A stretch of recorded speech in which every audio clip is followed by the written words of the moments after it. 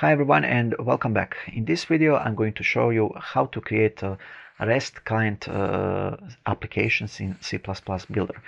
First of all, REST is, uh, well, it's simply just another way to describe the web and uh, from C++ Builder XE5 uh, uh, you have uh, available brand new components to communicate with REST web services. So I'm going to show you how to do that. Uh, in order to demonstrate I found this OpenWeatherMap uh, site. It pretty much allows you to connect to it and gather uh, weather information using the uh, REST uh, service. So pretty much what we are going to do is to create a, a REST client that will be connecting to this REST service and ask weather data for some city. For example if I go here to API so I'm going to say current weather data and as you can see I can request uh, current weather data for one location, several cities and so on and I can uh, get the result in a JSON, uh, XML or HTML format.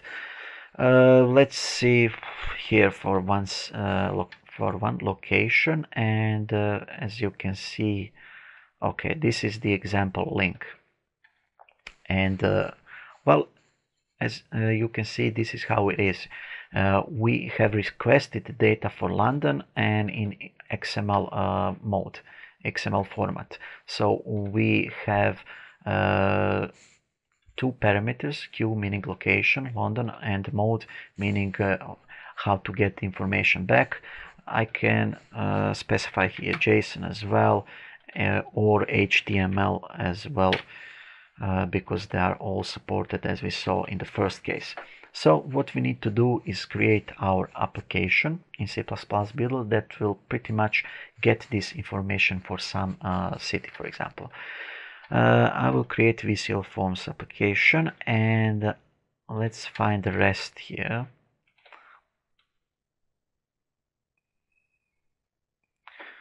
Uh, okay, here it is. So you have these components available uh, from XE5 and later. So I'm going to place a client, a request, and response components. Uh, as you can see, you have uh, various components for authentication itself. Uh, for example, simple authentication, HTTP basic, and uh, one and two this uh, OAuth authentication, right? Uh, that is the reason I chose this uh, web service uh, because it doesn't uh, require any of those. Uh, it's uh, simply it's it's very easy access. Um, for example, this web service here, well, it does require some additional stuff like API key, and first you need to sign up to get it, and then uh, later on you can uh, use the REST web service. But in this case, like I said, this one doesn't require anything and that is why it's perfect for us to, dem to demonstrate the uh, basic REST client. So I have uh, these three components here and what I need to uh, set now is the base URL and base URL is this here okay and I will place it here. So this is where my client will go uh, but uh, you need to see that I have two parameters. These are the Q and mode. Uh, Q defines the location that I'm inspecting and mode uh, defines the uh, format output. So I'll need to specify these two uh, parameters as well. But these two parameters are specified in the request. Okay so I have these parameters here and I'll specify these two. The first one is the Q and we said it was London okay?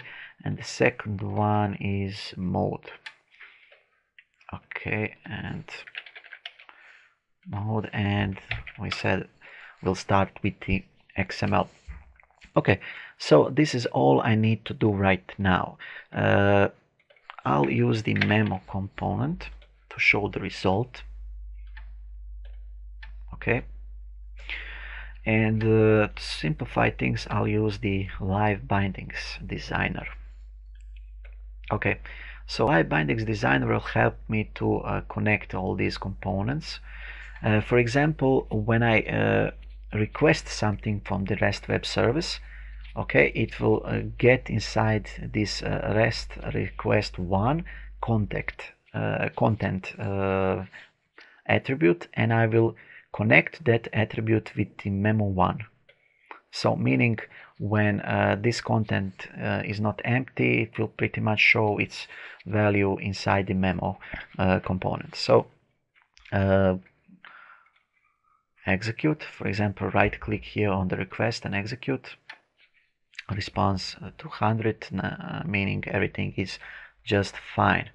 Okay so uh, this is the example but uh, okay as we can see it's a London here and it's XML format.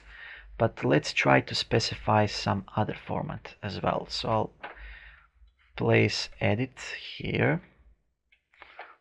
Okay and I'll uh, parameters this q parameter. Okay we said the q is a location. So I'll connect the q with the edit 1 and I'll connect the mode to edit 2 and I'll add a button. So this button will uh, execute a request. Rest uh, request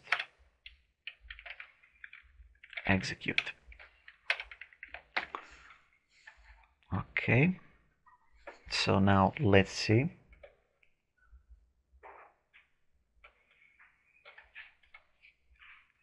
Okay so now we have information weather information for London in XML format. Let's now try to get it in JSON. Okay so we have JSON HTML okay let's say Paris